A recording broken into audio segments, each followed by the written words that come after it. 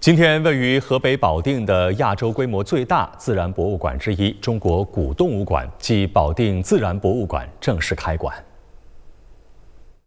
中国古动物馆占地面积约一百二十亩，总建筑面积约七点三万平方米，是一座以古生物化石为载体，系统普及古生物学、古生态学、古人类学以及进化论知识的国家级自然科学类专题博物馆。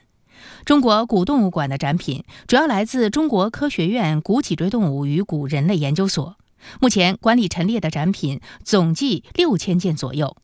中国科学院古脊椎动物与古人类研究所将陆续分批次把在北京的珍贵化石标本疏解到中国古动物馆。目前展出的展品中不乏珍品，包括世界唯一的中华猛龙骨架标本。已知时代最早的有颌鱼类奇迹秀山鱼，世界极少数三维保存的天山哈密翼龙蛋，中国最著名的犀角类恐龙河川马门溪龙，世界上脸最长、个体最大的马埃氏马头骨等化石标本。一进馆的时候，特别特别的震撼，尤其是刚才那个中华猛龙，很大。而很完整。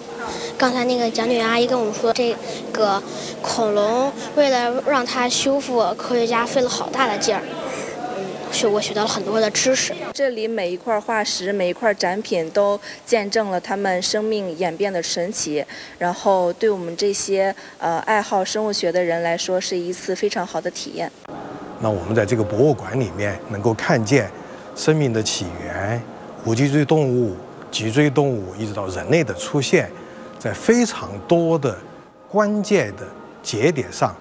中国的化石都起到了非常重要的作用。